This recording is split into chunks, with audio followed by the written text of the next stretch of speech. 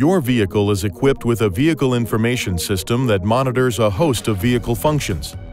The vehicle information display is located here in the instrument panel.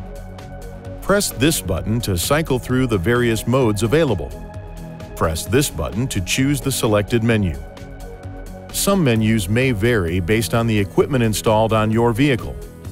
To reset the average fuel consumption, press and hold this switch for more than one second.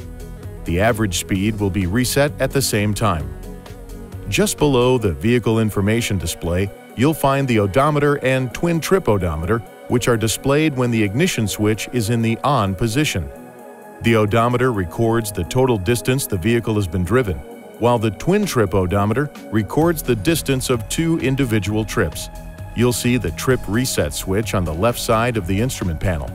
Push it to change the display from trip A to trip B and back again. Push and hold the switch for more than one second to reset the selected odometer. Please see your owner's manual for important safety information, system limitations, and additional operating and feature information.